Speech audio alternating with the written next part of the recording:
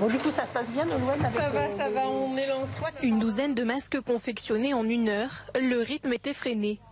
La municipalité de Gournay-sur-Marne n'avait pas de masques chirurgicaux à proposer. Elle a donc décidé de s'en créer à l'aide de l'association de couture. Comme on voit que les, les approvisionnements ne se font malheureusement pas comme on voudrait, que c'est malgré tout tendu, et ben en système D, hein, forcément. Donc, euh, donc j'ai forcément répondu présent et je répondais présent les autres jours. Les habitants ont fait des dons de tissus, mais les élastiques commencent à manquer. Reste toujours le système D. Alors, on a des petites astuces.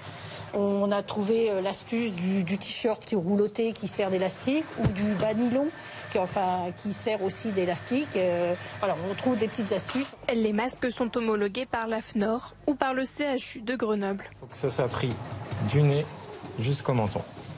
Et là, on est parti pour 2 à 3 heures et ensuite on lave à 60 degrés pendant 30 minutes.